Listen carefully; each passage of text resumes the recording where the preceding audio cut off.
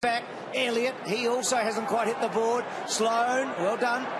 Cameron's been important, Charlie Cameron, with those tackles. One bounce, two. Does he get it out? Well, it's a fumbly sort of handball to Walker. Walker's handball out wide. Can Betts break it? He does. It could open up. Betts to fall forward. Jenkins has been terrific. Oh, well done, Adelaide. Transition.